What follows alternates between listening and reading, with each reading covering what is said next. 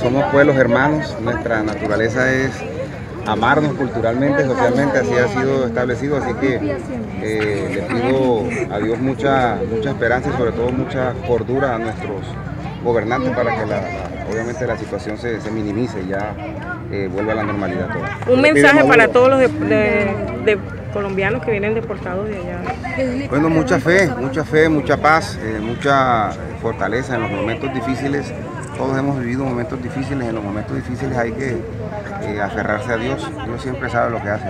¿Usted como colombiano no, siente temor de ir a Venezuela? No, no, la verdad no tengo ningún temor, repito, yo tengo toda la, eh, la certeza de que, de que somos pueblos hermanos y siempre ese va a ser mi, mi- mi convencimiento.